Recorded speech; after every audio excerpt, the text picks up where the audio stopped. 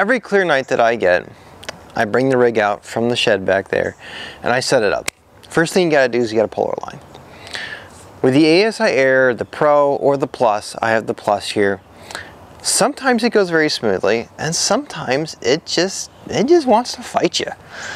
So, I've kind of put together a list of all the different things that I kind of like to do when plate solving gives me issues while I'm polar aligning.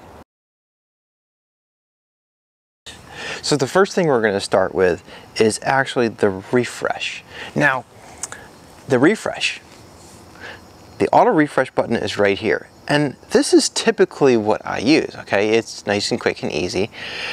However, sometimes, you know, if you're having one of those nights where it just doesn't want to plate solve, I found that by turning that off and hitting the refresh button myself manually, this has just about always improved the plate solving for basically, you know, doing polar alignment.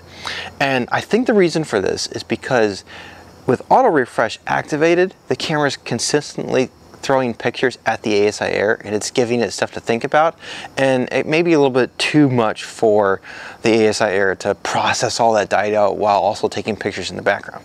By turning off auto and just hitting refresh manually, yeah, it plate solves faster and it seems to do it when it always fails.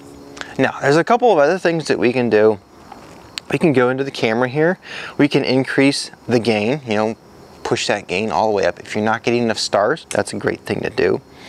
Another thing to do is actually to change or select another filter.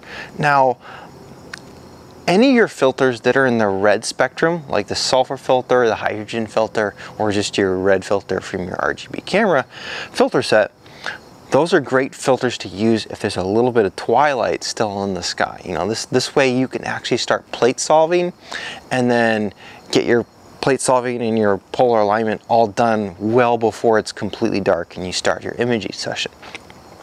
So that's another thing that you can do. Now, the last thing that you want to do, okay, this is the most extreme one. So typically the field of view of my main imaging camera is, you know, it's smaller than my overhead scope. What we'll actually do is we'll actually switch cameras that we're using to do the plate solving. To do that, you know, we're gonna first go in here, we're actually gonna turn off this guy.